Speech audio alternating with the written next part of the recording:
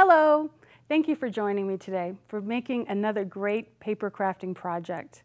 We're going to make this beautiful bridal shower invitation using some very basic materials from around the house. We have cardstock, ribbon, and I, am actually using some leftover butterflies from a previous project. We're going to do something a little different today.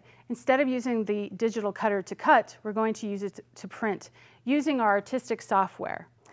I have creative drawings already opened, so I'm going to select the text icon, and all of my available fonts will become available. Click in the workspace and type in your invited.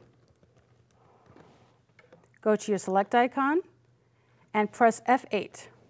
This will give us the ability to go in here into the design and offset the letters. Gives it just a nice look.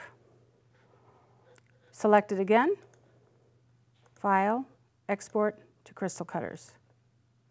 And we're ready to print it out. I've already attached my cardstock to my adhesive mat, and now we need to load it into the digital cutter.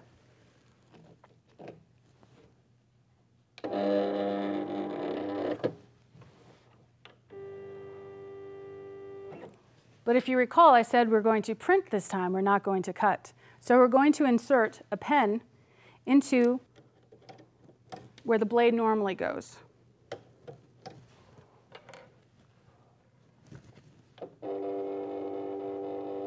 Because we're doing a card, you need to think in terms of the placement of where you want the invitation to print out.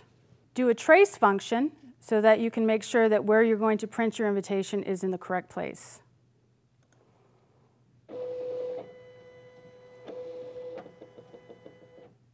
I think that's a little low, so I'm going to go ahead and bring it up a little bit more. When you're ready, even though we're printing, we're going to still click on the Cut button.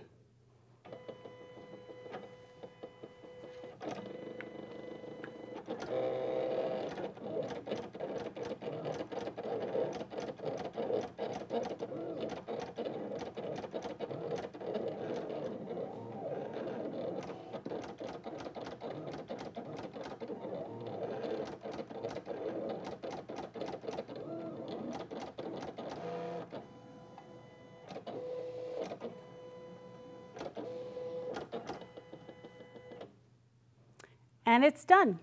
So let's remove it from the cutter.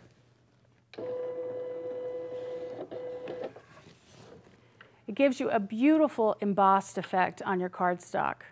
So I've removed the cardstock from the mat, folded it in half, and cut it to size. Now all that's left is adding some ribbon and the pre-cut butterflies that I am using from a previous project. And that's it. So now you've created something beautiful and personal with love and with artistic software.